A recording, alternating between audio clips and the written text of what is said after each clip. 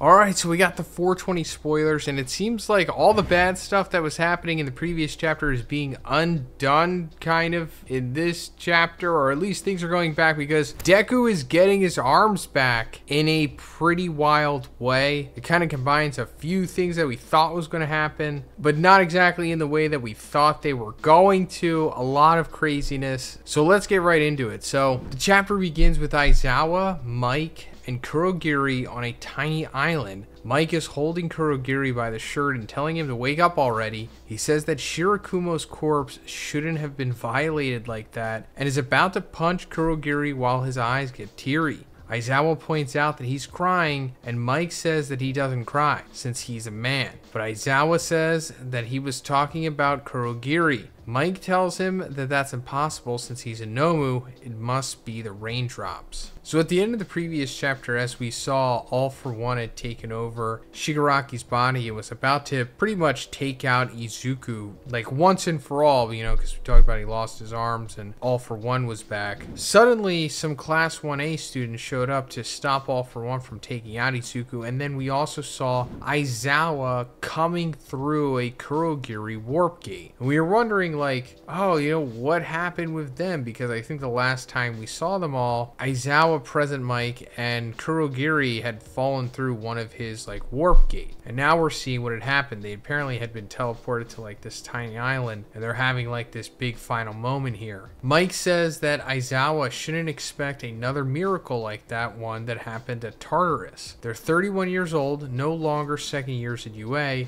but Aizawa says that Shirakumo died while he was a student. Besides, there must be a reason why he saved them both from dying. So yeah, I guess the miracle they're talking about that happened at Tartarus was when like Aizawa and Present Mike were interrogating uh, Kurogiri and they were having like that breakthrough where Shirakumo, the person that Kurogiri originally was, was like starting to come through Kurogiri. And that's when they knew that there was still like a piece of Shirakumo still in there. Because, you know, as it says here, Shirakumo did die as a student. You can actually see this in the My Hero Vigilante spin off series. While some people will tell you that it's like 100% canon to the series, it's like uh, kind of canon to be honest. It's not fully, but it definitely has some aspects of My Hero in it. Such as like with this backstory of Shirakumo. Like the third person in Aizawa's friend group back when he was in UA.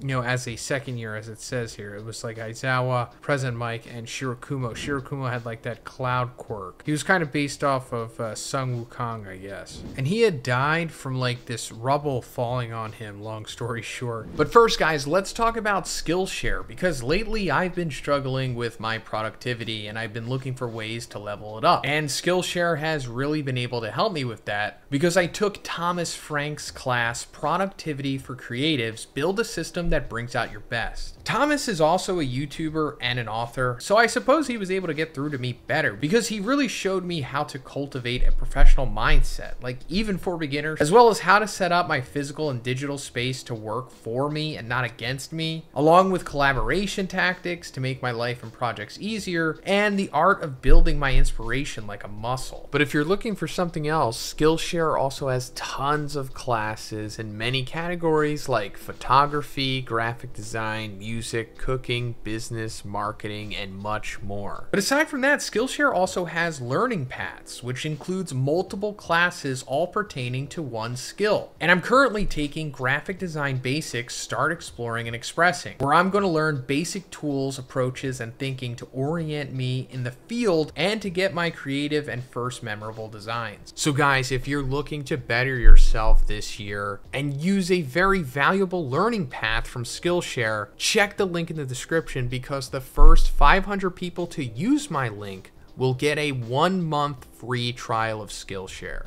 Thanks, guys. And Dr. Ujiko, all for one's like right hand man, had found him, took his body conveniently, like he always does, and then altered him and made him into like a Nomu as they refer to him here, but the Nomu turned out to be Kurogiri with an altered quirk that made his cloud quirk into like Kurogiri's warp gate quirk. And also, I don't know, wiped his memory and personality and made him into who he is and the, you know, protector slash babysitter of Shigaraki. But whatever Ujiko did couldn't like completely fully erase the Shirakumo aspect of himself. Aizawa says that they managed to generate a white spark that mixed with darkness. It will never be 100% white again, but it's not 100% black either. And now, as UA teachers, they need to guide the student until they graduate as long as they remember their origin. The mist increases in size, and Kurogiri says, Yamada, Mike starts to cry, even more, and says that memories never die. Cut to Tsukauchi in the control room, and Aizawa asks him through the comms if Monoma can still fight.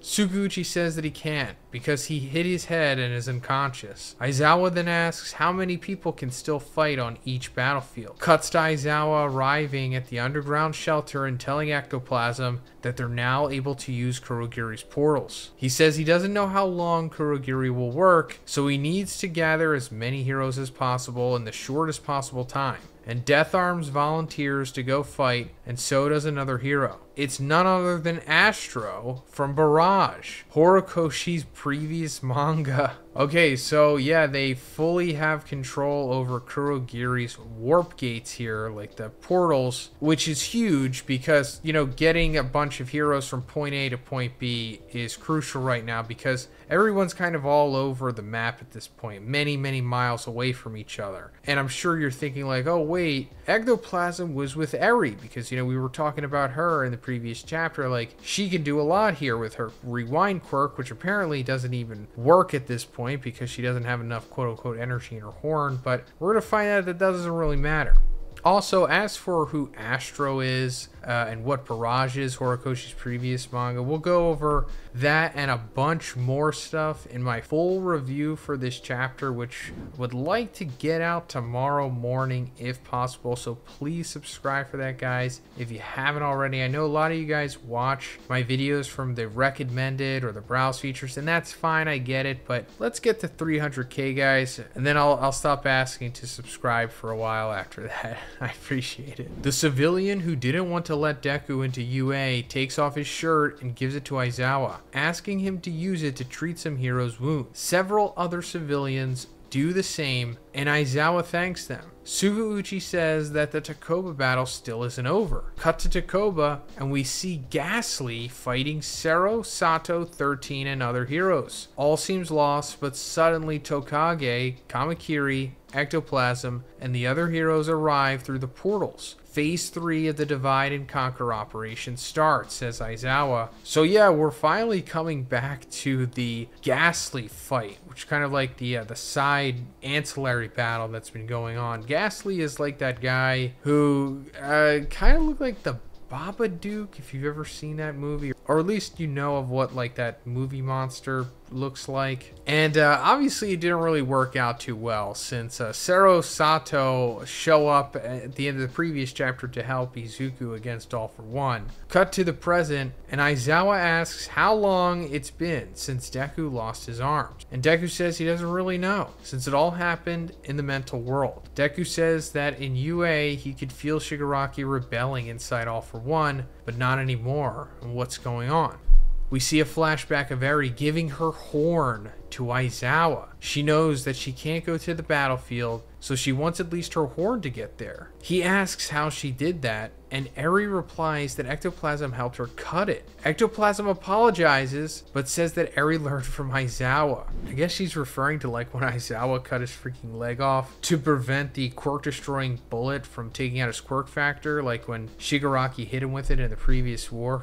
She's rational like Aizawa, but she also does crazy things from time to time. Aizawa says that this could permanently damage her quirk, and Eri says that she wanted to do this to help All Might and Kacchan-san too, but she couldn't. So now she wants to help. So that's like a pretty uh, mean tease from Horikoshi here, wanting to help All Might, which, like I've been saying for many years now, she could have used her quirk on him, but uh, it is what it is, guys. I'll go more into it in my review. Uh, the what if, you know, Eri used her quirk on All Might. And, uh, you know, helping Kacchan, which is uh, Bakugo, of course, but uh, he's already been helped, so uh, it mainly could have helped All Might here, but it is what it is. Eri says her dream is to sing like Jiro, and she wants Deku and everyone else to have fun when the war is over. Cut to the present and Aizawa pierces Deku with Eri's horn. Ectoplasm says that she didn't have much energy, so it should take two to three minutes for him to heal. Aizawa says that Deku can't die until he hears Eri singing. The chapter ends with Mineta, Kaminari, Shoji, Momo, Kota, and the other heroes coming out of the portals. They say they're exhausted, but the fact that Midoriya is doing his best makes their bodies move on their own. Okay, so like I was also saying, we're probably going to see the rest of Class 1A show up here for the final battle and help out because they all kind of need their moments here. Yeah, it would have been nice if we got some more chapters dedicated to them having their own individual moments and their own individual final battles. Not full chapters, of course, but at least one or two panels. But I guess we'll just get it here with them going against All for One, which is cool. But apparently, you can just take Eri's horn and just pierce somebody with it, and her quirk will activate, which obviously we didn't know was a thing before. But I guess this is uh, Horikoshi's way of just utilizing Eri because I guess he kind of has to, right? Outside of using Overhaul's quirk, which we were also talking about was a way to save Izuku or just bring back his arms here. Or I was talking about maybe Tenko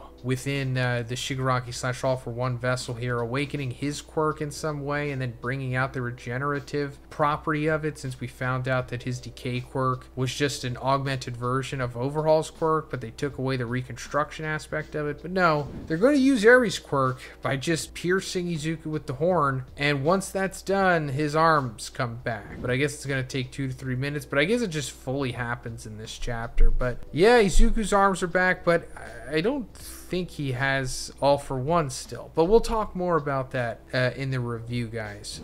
That's pretty much it for this one. Let me know what you think about all this in the comments. And if you liked it, please give it a like and please subscribe if you haven't already. Have a great day. I'll see you in the next one.